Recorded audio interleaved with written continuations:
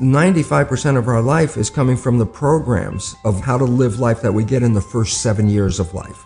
And that's why poor people stay poor and rich people stay rich.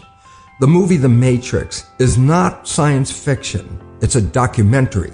Every human, first seven years is hypnosis. The brain of a child under seven is in a lower vibrational frequency. When you put wires on a person's head, you read electroencephalograph, reading brain activity. A child below seven has a lower vibration than consciousness. It's called theta. Theta is imagination. That's how kids play a tea party with mud pies, but to them, it's a real thing. A kid rides a broom, it's a horse.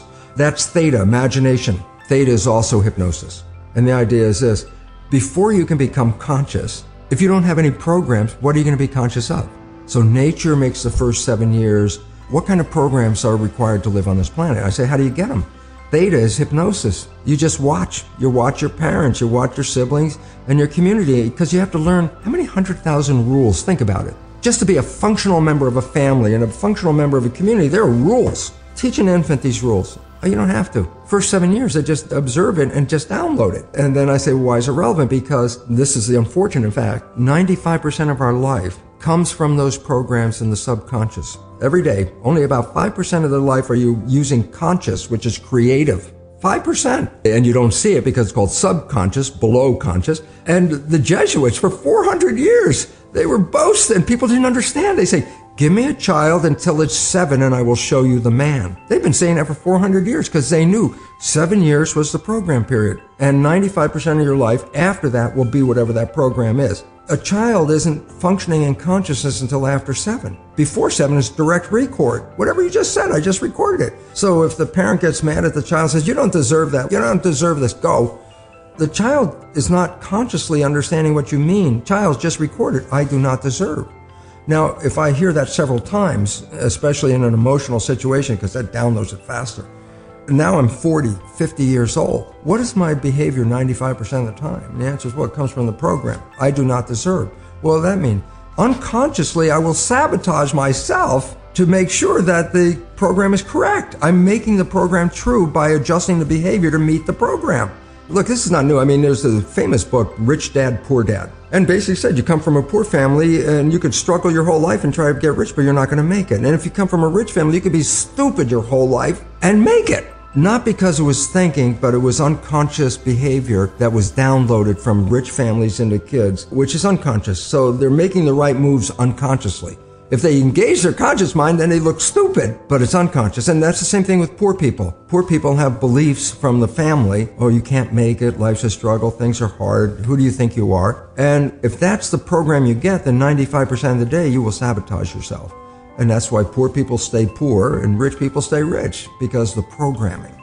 Before I put this knowledge into effect, and I use the word put into effect, why? I had the knowledge academically. It's like, oh my God, look at the research. What does it mean? I understood it from the level.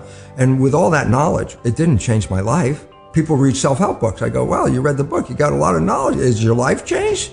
No but you got a lot of knowledge. And so here's the difference. The conscious mind is creative and can learn in any number of ways. Read a self-help book, go to a lecture, listen to this, and conscious mind is going to get some awareness. But subconscious mind doesn't learn that way. Subconscious mind learns in two fundamental ways naturally. Hypnosis, which is the first seven years. And after age seven, how do you put new programs in? Repetition. Practice. You want to drive a car? You didn't learn how by just getting in the seat and put the key in. You had to practice driving the car. You want to learn the alphabet. How many times did you go from A to Z? Try to go to A to Z before you can complete it.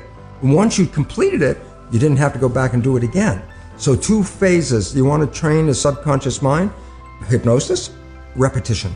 I like the last one because there's a new phrase that's bandied about called fake it till you make it. Meaning, if you're not a happy person, I say you want to be a happy person, then repeat all the time. I'm happy. I'm happy.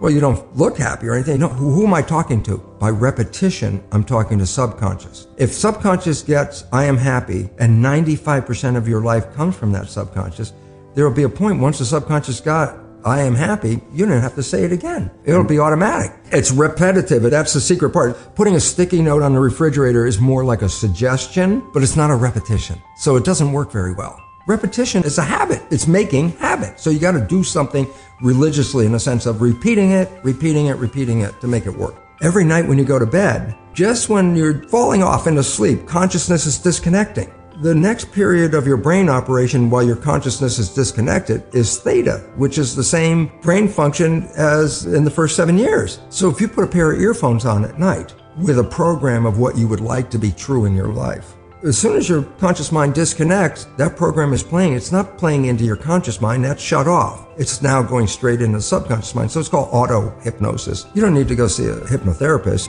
You just have to pick out what program would you like to have that you don't have. 95% of your life is coming from the subconscious. Your life is a printout of your subconscious behavior. So you don't have to try and think about what happened. I just say, look at your life. The things you like that come into your life come in because you have a program that supports them. But anything you struggle with, work hard at, put a lot of effort into making it happen, why you're working so hard, inevitably you have a program that doesn't support that conclusion and you're trying to override the program. So you don't need to do a lot of shrink and psychology stuff. You just look at your life and say, where am I struggling? Because wherever you're struggling, inevitably is a program in your subconscious that does not support that destination you've been looking for.